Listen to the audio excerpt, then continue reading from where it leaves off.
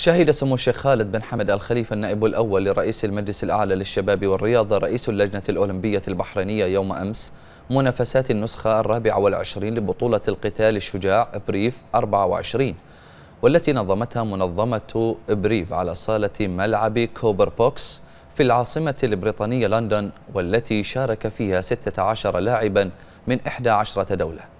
وبهذه المناسبة عرب سمو الشيخ خالد بن حمد الخليفة عن سعادته بتنظيم بطولة بريف في نسختها الرابعة والعشرين بالعاصمة البريطانية لندن والتي حظيت باهتمام من قبل الجهات الرسمية بما انعكس على نجاح هذه النسخة من البطولة ليضاف لسلسلة النجاحات التي حققتها في هذا الحدث في رياضة فنون القتال المختلطة لفئة المحترفين.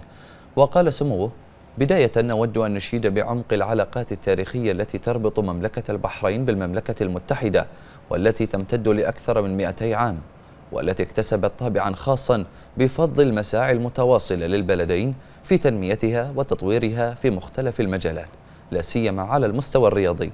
مضيفا سموه أن البحرين وبريطانيا قد شهدتا تطورا ملحوظا على مستوى رياضة فنون القتال المختلطة والذي أسهم في تبوئهما لمكانة متقدمة على المستوى هذه الرياضة. وتابع سمو الشيخ خالد بن حمد الخليفة إن إقامة بطولة بريف في لندن قد أكسبها قوة إضافية تسهم في دعم انتشارها العالمي نظرا لما تتمتع به لندن من موقع استراتيجي بين دول العالم وباعتبارها إحدى المحطات الرئيسة في رياضة فنون القتال المختلطة والتي تجذب المهتمين والرياضيين الذين يمارسون هذه اللعبة الأمر الذي يسهم في تحقيق الأهداف التي رسمناها لتزيد من شعبية هذه البطولة لتصبح البطولة الرقم واحد في العالم. وقد أشاد سموه بالمستوى القتالي الكبير الذي قدمه اللاعبون خلال النزالات والذي عكس بشكل كبير التحضيرات الجادة لمشاركتهم في منافسات هذه البطولة حيث أضفى على أجوائها الحماس والندية والإثارة. والذي شكل عاملا من عوامل النجاح مشيدا سموه بالتنظيم والحضور الجماهيري والتغطية الإعلامية من مختلف وسائل الإعلام المقروءة والمسموعة والمرئية مقدرا سموه في الوقت ذاته الجهود التي بذلتها منظمة بريف برئاسة السيد محمد شاهد في الإعداد والتحضير الذي انعكس على ظهور هذه البطولة في أبها حلة. وقد تابع سمو الشيخ خالد بن حمد الخليفة جميع نزالات البطولة حيث آزر سموه لاعبي فريق خالد بن حمد لفنون القتال المختلطة وهما اللاعب البحريني حسين عياد واللاعب غمزات محمدوف الذين اللذين حققا الانتصار في هذه المشاركة. هذا وتوج سمو الشيخ خالد بن حمد الخليفة اللاعب الأمريكي بوبا جنكيز بلقب وزن الريشة.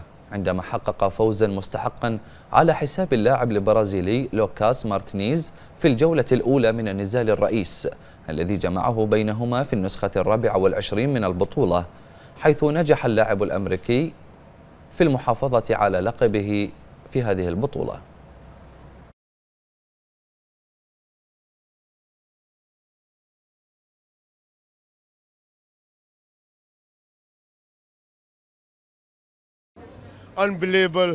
لدينا مشاهير ومسؤولون حكوميون من حول العالم كما حضر مغنون ونجوم أفلام تحت سقف واحد في لندن.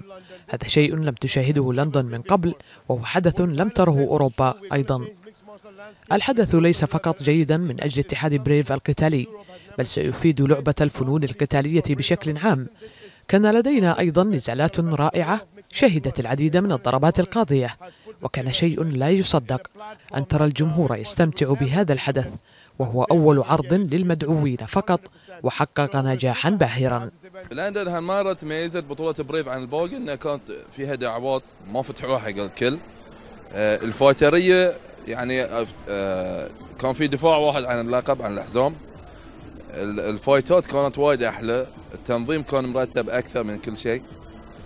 يعني المكان دائما إذا بريف دائما تختار أماكن بلدان جديدة وهاي اللي يساعد في زياده الجمهور. فالحمد لله الجمهور كان أكثر ومن ناس يعني غير اللي متابعين حق الرياضة. فهاي اللي كان ميز فيها بريف. بطولة لندن كانت آه، بطولة جدا مهمة بالنسبة لي. اتمرنت حق ال fight يعني فترة طويلة. آه، لنفس ما قلت في البداية fight جدا مهم. أول مرة بلعب في مشواري آه، الاحترافي مع ضد خصم آه، آه، أوروبي. فاستعديت له أكثر من أي event استعديت من قبل. والحمد لله نهاية. نهاية ال fight كنت آه، رفعت اسم المملكة وهاي اللي إحنا نشتغل عليه. منظمة بريف رغم من صغر سنها وتوها صار لها كذا سنة ولكن وضعت بصمتها بكل مكان في العالم في كل قارات العالم. آه نتكلم عن يعني آه منظمة آه أخ- خذت من أفضل اللاعبين الموجودين على مستوى العالم في النقطتين المختلطة وحطتهم في مكان واحد. شفنا مستويات عالية جدا من الاحترافية. آه، منظمة بريف آه، راح تكون منافس قوي جدا في آه، مجال الفنون القتال المختلطة. وهي ما وهي كذلك الآن منافس قوي ولكن راح نشوف كذلك راح تصعد بشكل أكثر. هذا الشيء واضح من كل ال- ال event ات اللي قاعد نشوفها والتنظيم الرائع و- ومستوى اللاعبين والبطولات اللي قاعد تصير على مستوى العالم. أنا فخور جدا أن أكون جزءا من هذه المنظمة ورؤيتها. أنا أدعم المنظمة والمنظمة تدعمني. ونشكر سمو الشيخ خالد بن حمد ال خليفه على هذا ال event الرائع اللي فعلا يعني آه، وضع بصمة جديدة لمنظمة بريف العالمية في العاصمة البريطانية لندن وعلى مستوى العالم كذلك.